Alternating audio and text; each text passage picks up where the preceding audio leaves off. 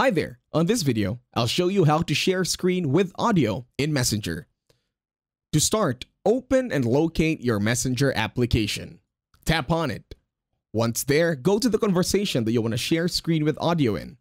Now go to a video call. Wait for him to answer. Now tap on share your screen.